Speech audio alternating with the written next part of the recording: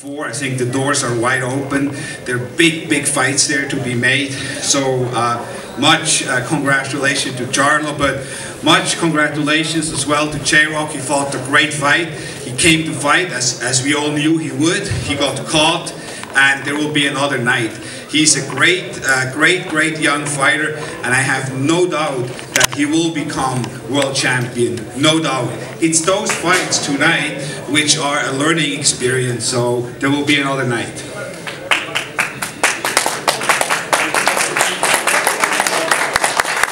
So, uh, if you guys have any questions for either one of the fighters, please uh, get started.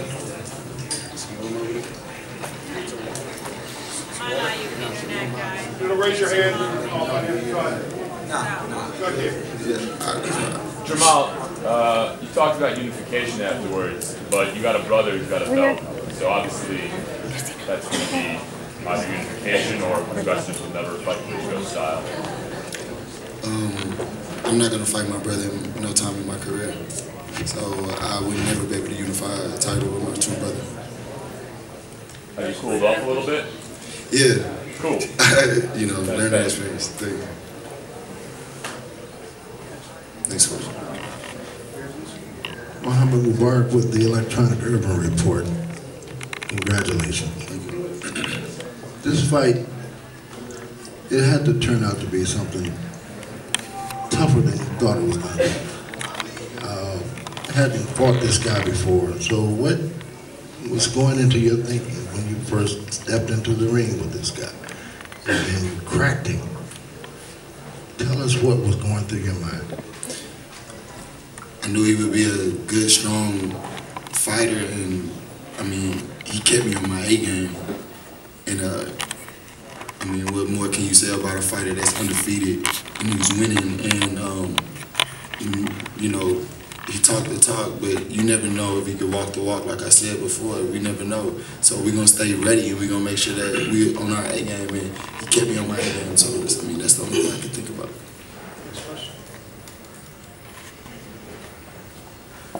Yes, go ahead. I'm just curious. Um, one of J Rock's teammates from the snack uh, group is Demetrius Andrade, and he's in the room. Is that a fight you'd entertain in the future? Uh, most definitely. Um, I'm out here to fight the best in the world. You know, um, like I like I said before, I, I haven't dodged anyone and everyone that um, they put in front of me. I just tend to do my job. I'm not a matchmaker or any of that. But uh, of course, I I, um, I heard the name before. He was supposed to fight my twin brother, and, and that didn't work through. But you know, one day, I guess you know, when the terms get right, and um, we can work something out. Next question. Right here, question. Just, just so you know. This the guy you talking about? I thought you were not going to do that. You said yesterday in the interview. You see what I'm saying? Yeah, nah, congratulations, brother. Don't, it ain't even like that, man. You did what you had to do. I respect everybody that stepped into the ring. I'm not coming here being disrespectful. What I have to say is, when do you think we can make that happen? soon. I mean, soon as your team and uh, you get you know your stuff together. You know, I, I I don't know about. I'm not a matchmaker, bro.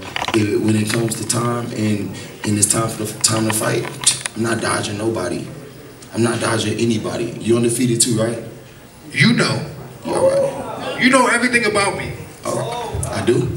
I Yes, actually you, don't. yeah, I'm you do. steady- You I'm guys are still underneath me. Oh yeah. Yeah. See, all right. I'm off that. We can definitely make. Well, you know, we're gonna see- we're gonna see. Hey, yo, J Rock, yo, I I saw appreciate you- you. yesterday you gave an J-Rock interview. for stepping up. You was going for him too, right? Excuse me. I appreciate J Rock stepping up to the plate and um, fighting another undefeated fighter and 154 pounders. That's the. That's J Rock. Yeah, cool. Clown, bro. You're a clown. Hey, Julian. Julian, I, I 154, I weigh 220, I don't box, and I'm a white guy. Yo, over here, man. What's going on? Um, a lot of us, everyone I was sitting near, had it, I think, 2-2 uh, going into uh, the last round of the fight, as it turned out, uh, real even. What were you seeing when you were successful in the ring? Okay, guys, calm down, okay? So please, start again. All right, thank you, Richard. Okay, hey. star. Okay.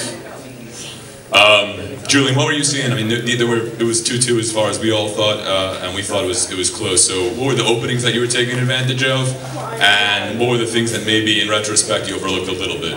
Uh, I just think I overshot on my right hand, and he he rolled off up into uppercut, and I didn't see it. You know, he caught me with a good shot, and I got up, but I didn't, I didn't think I had my legs together. I think I maybe jumped up too fast. I should have let some oxygen get in my head. But sometimes, you know, that Philadelphia come out of me. You know what I mean? But uh, Right, man. What were you seeing? Because it looked pretty even, obviously, until that. Until that. Um, first off, I wanted to give um, Jermall Charlo and uh, Ronnie Shields their props. It was, uh, you know, there was a lot of negative things that was being said.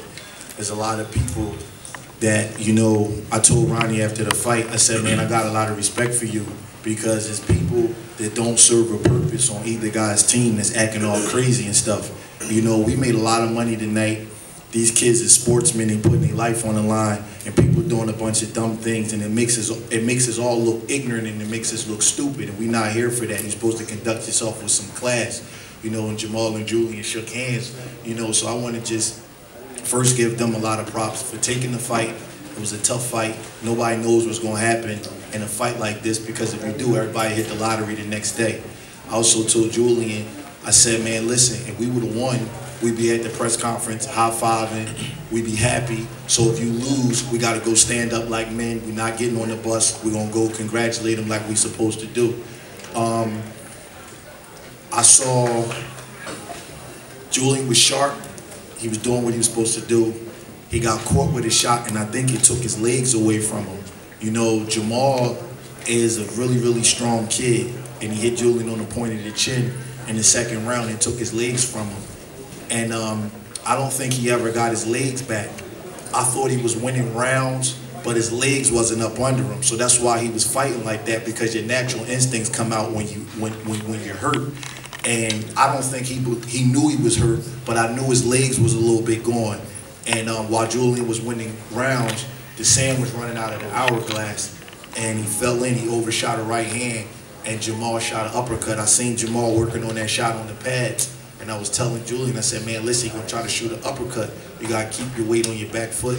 He overshot a right hand, and Jermall hit him on the money. And it happens in boxing. You got to live with it and, you know, move on. But Jermall's better than we thought he was. I give him full props. The kid can fight, you know, and um, Julian going to have to show his willpower he showed a lot of heart tonight. He gonna have to come back and be mentally strong and get over this, and I think that he uh, can. But Jermall's a, Jermall's a great fighter. Well, it was a great fight. Thank you. Uh, this question is for Richard. Um, Richard, who conducted the drug testing for this card, and do you guys have any plans in the future to partner with VADA and the testing program that they're doing? Right now? Well, we have uh, worked before a couple of times with VADA, and then we have uh, worked with USADA as well. So uh, usually USADA does the drug testing. Is that who did the drug testing for this card? USADA? I don't really know who, who uh, was it USADA? Yes. Yeah. It's California, just California, just, just California. Just the state yes. commission? Okay, yes. thank you. Thank you. Next question.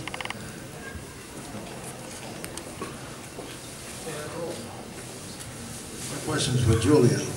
Uh, Julian, going into this fight, uh, you knew what was at stake, and you seemed to have your focus.